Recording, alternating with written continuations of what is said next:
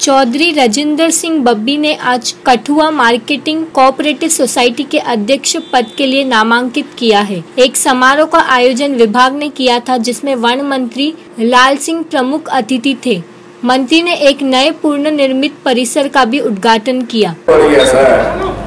कि सारे किसान भैन और ये किसाने के नुमाइंदे ने जिन्हें पूरी ईमानदारी कन्नै एक कश दस्सेआ है और पूरी यूनिटी कन्नै एक चुनावी वास्ते के टीम सामने आई है मैं बबी मोहर देखा कि इस काम च इस तरीके ने काम किया है सारे लोग मनिया और ये कन्नै प्रोग्रेस ज्यादा होती जिथे कलेश हो झगड़े हो उत्थे तरक्की नहीं होती किसान भाइयों को ये कहूँगा कि आप, आपको कोई भी तकलीफ़, कोई हेल के बारे में, कोई सीट के बारे में होगी तो आप मेरे से संपर्क करें।